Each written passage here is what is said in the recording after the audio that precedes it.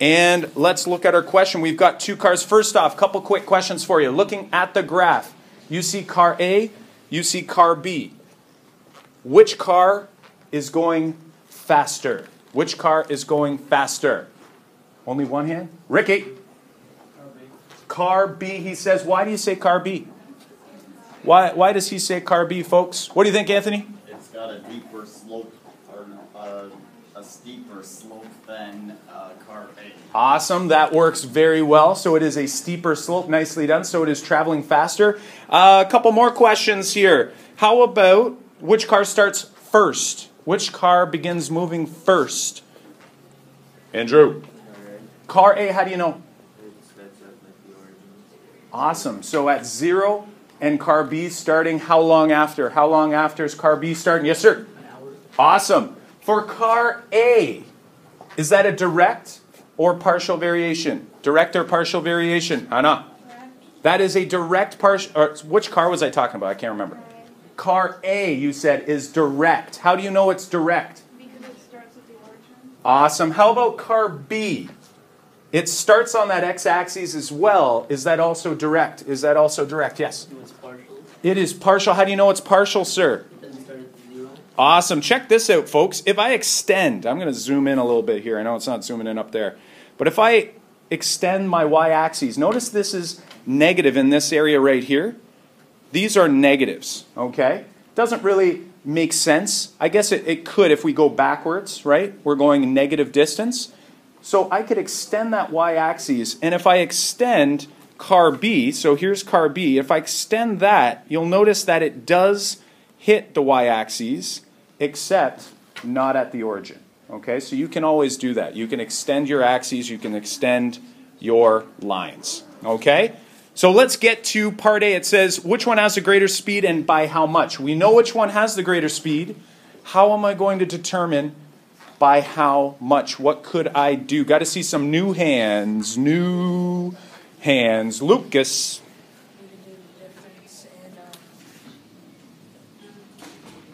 Don't be nervous. They're not evaluating you, they're evaluating me.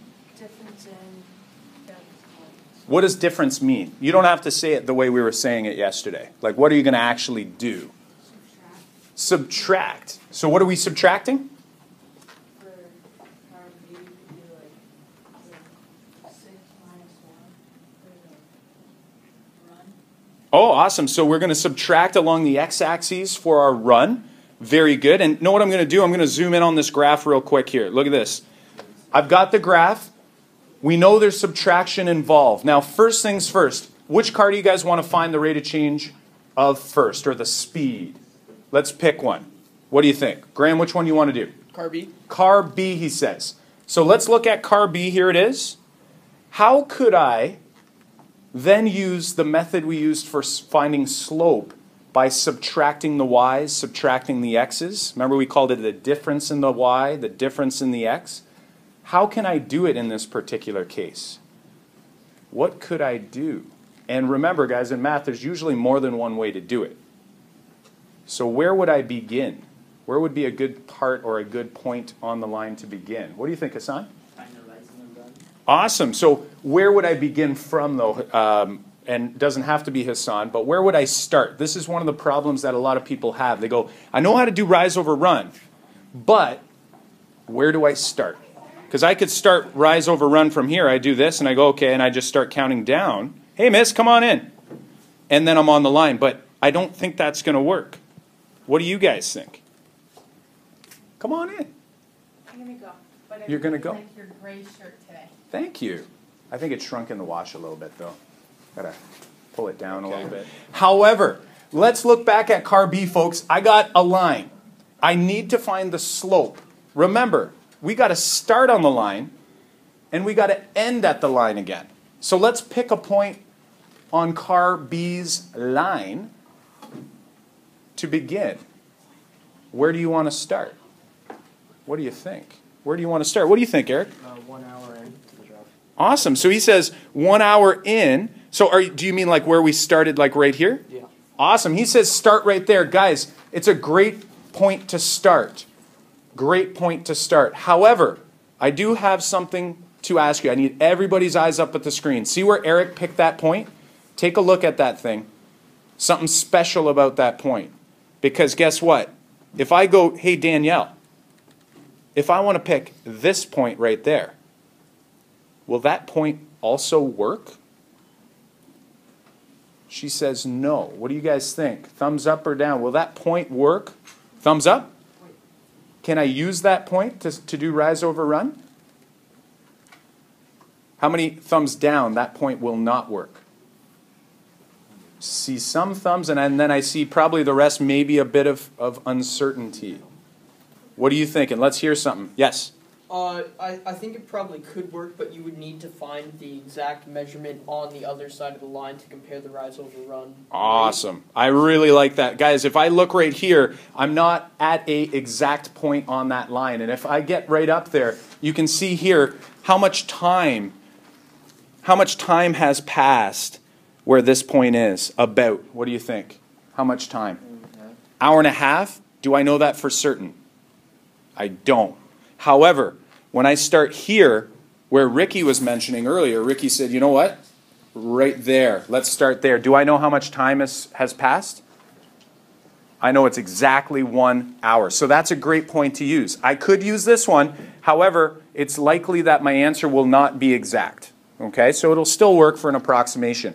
How about another point? Remember, I got to do rise over run. So that means I got to go up and I got to go back over to get to the line somehow. Pick another point on that line so that we can get back to the line. What's another nice and I, I want to say almost exact point that we can use? What do you think, Sophia? The second point on my, on card B, oh, uh, four hundred eighty.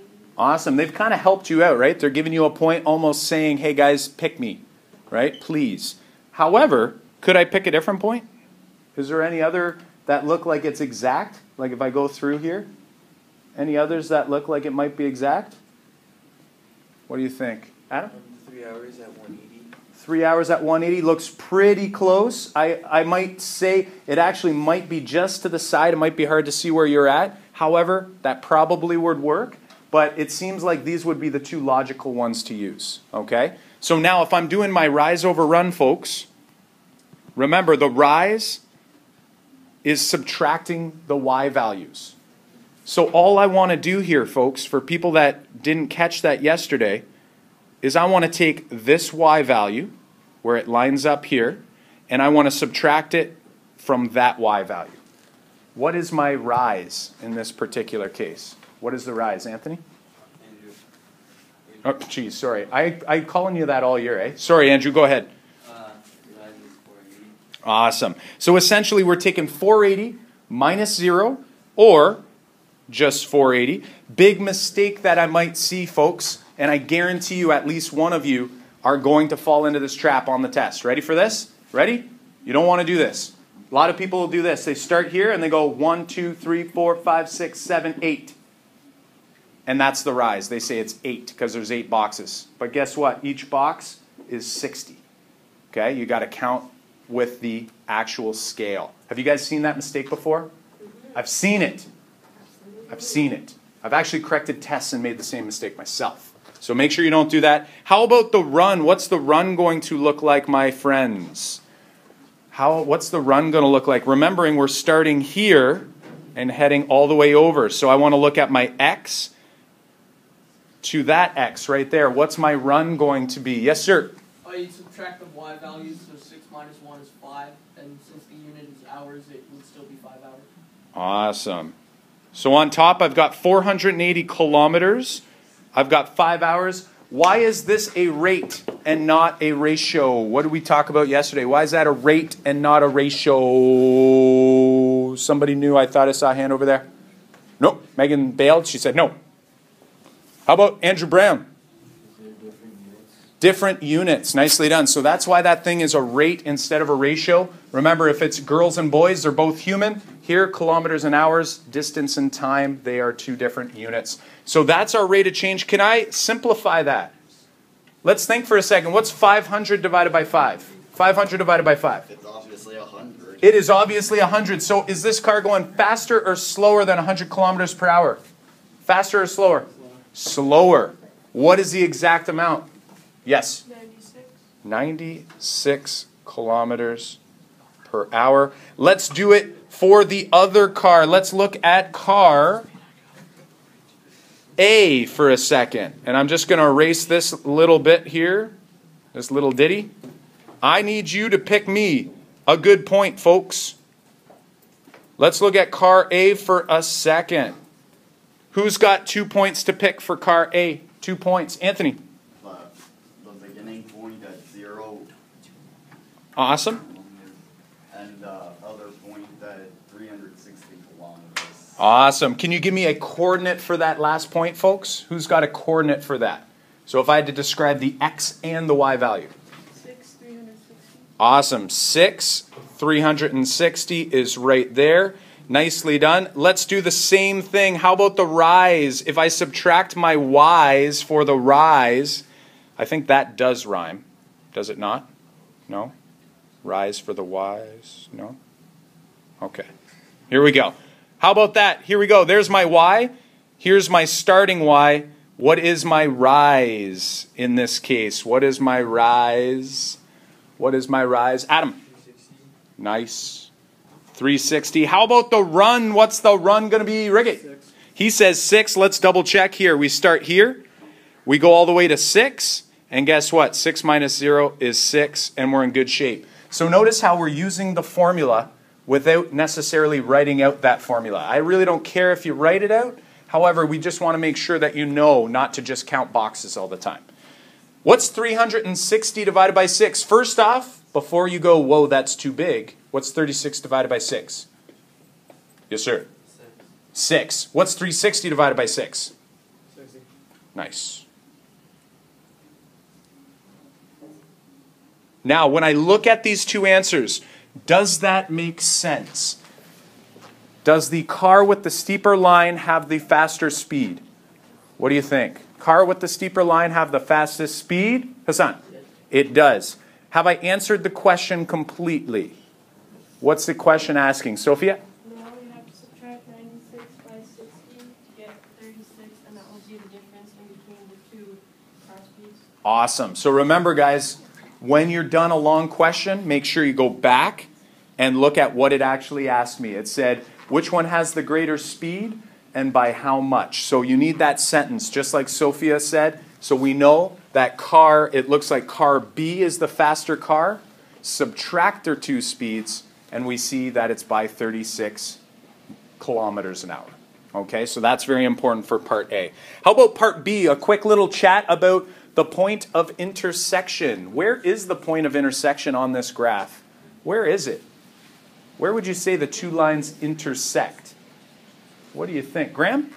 Uh, three on the t-axis and 180 on the d-axis. Awesome. So if we go over to 3 and go up to 180, it looks like that's our point of intersection right there. What does that mean in this case? If I said, explain what the point of intersection means, what does it tell me when I just look really quickly at the graph? What does it tell me? Anybody new? Mr. Brown. When the cars pass each other. When the cars pass each other. Nicely done. So when they're at that point, they are at the exact same spot, okay, distance wise. They're not necessarily on top of each other, but they are both 180 kilometers from home, okay, and they do it at the All right, very good. And we will wrap that question up. Should I be keeping in the conversation with Miss Baggio? Should that stay in the video? Do you think YouTube would would benefit from that conversation? Excellent. It's done. The hammer's down. Enjoy.